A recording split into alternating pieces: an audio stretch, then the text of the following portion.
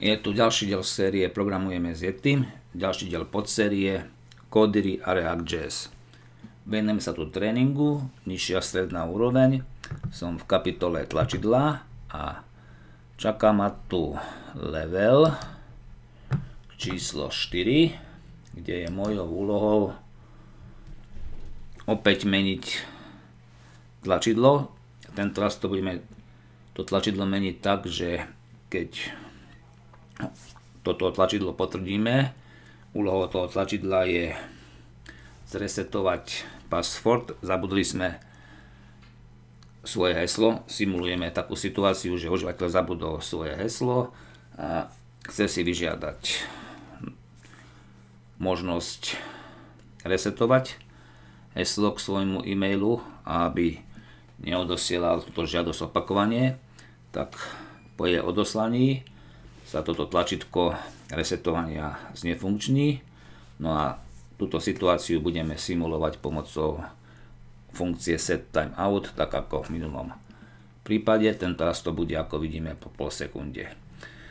Takže máme triedu zresetuj heslo, rozširuje React komponent, konštruktor, volanie toho React komponentu. Stavom bude teraz nie nápis na tlačidle, ale či sme už tú žiadosť poslali alebo nie. Na úvod bude tlačítko funkčné, takže pretože sme ešte nevyžiadali resetovanie hesla, máme tu nastavenú hodnotu false. Tú hodnotu false využijeme neskôr na tomto mieste. Použije sa na to, aby sa potom po zmene na true to tlačítko znefunkčnilo, aby nemož, nebolo možné znovu žiadať určitú dobu zresetovanie hesla.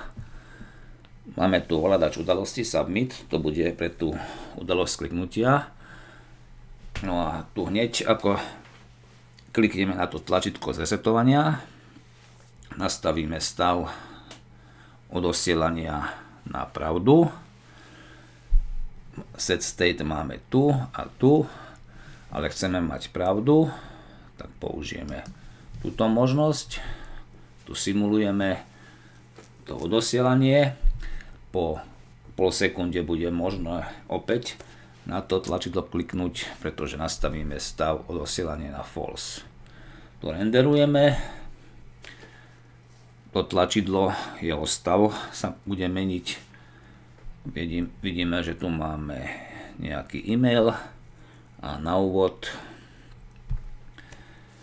máme nastavené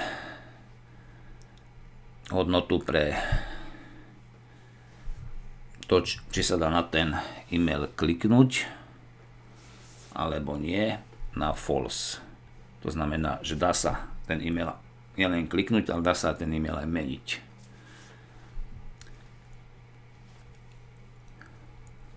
Tu máme tu udalosť kliknutia, ovládač udalosti bude ten submit. No a tu opäť nastavíme v podstate to isté ako pri tom e-maili. Nastavíme hodnotu úplne rovnako ako je, ako som už povedal pri e-maili. Na úvod môžeme meniť e-mail, môžeme klikať na tlačítko. Ako náhle klikneme na to tlačítko, sa nám znefunkční aj zmena e-mailu, aj možnosť kliknúť na tlačítko. Minimálne na tú pol sekundu. No a nápis na tom tlačítku je zresetuj password.